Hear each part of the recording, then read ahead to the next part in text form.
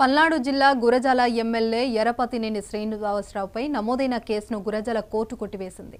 రెండు వేల ఇరవై అక్టోబర్ ఇరవై మూడున రెంటచింతలలో పర్యటించిన ఎరపతినేని పోలీసుల మానసిక స్థైర్యం దెబ్బతినేలా వ్యాఖ్యలు చేశారని అప్పటి కానిస్టేబుల్ పవన్ కుమార్ ఫిర్యాదు మేరకు పోలీసులు కేసు నమోదు చేశారు.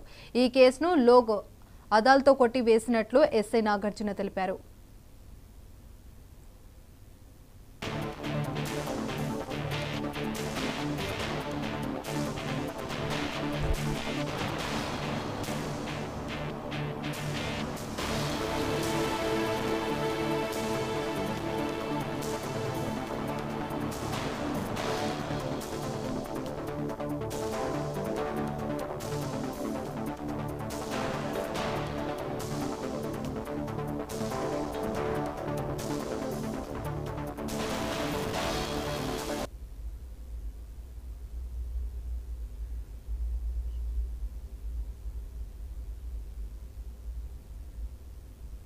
ఇవి ఇప్పటి వరకున్న అప్డేట్స్ మరిన్ని అప్డేట్స్ కోసం